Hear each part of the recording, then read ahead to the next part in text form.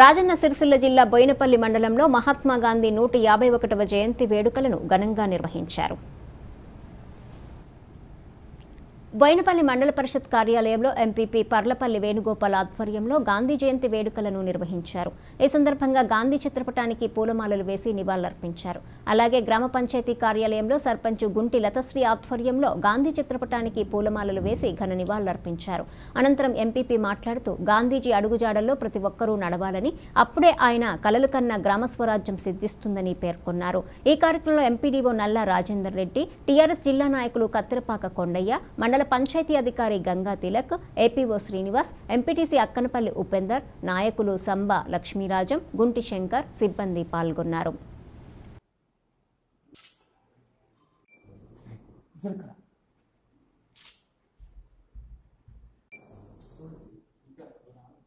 Okay okay okay.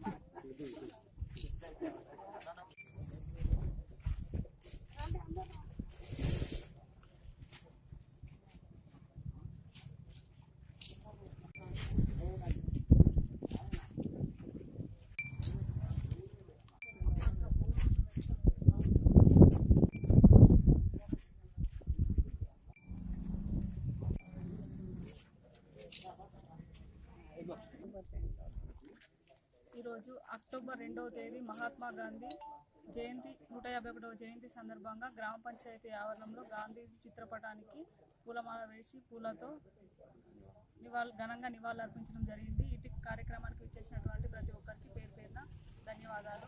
ప్రతి మనందరం కూడా ప్రతి ఒక్కరం గాంధీజీ అడుగు జాడల్లో నడుచుకుంటూ ఆయన కన్నా కలల కన్నా స్వరాజ్యాన్ని నిర్మించాలని మనస్ఫూర్తిగా కోరుకుంటున్నాను